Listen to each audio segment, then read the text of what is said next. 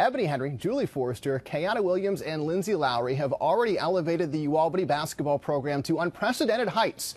Today, in their final regular season game at SEFCU Arena, another chance at another program first. Already America East regular season champs on senior day, a chance to close out the conference season undefeated for the first time in program history. Ebony Henry is one of the best to ever wear the purple and gold.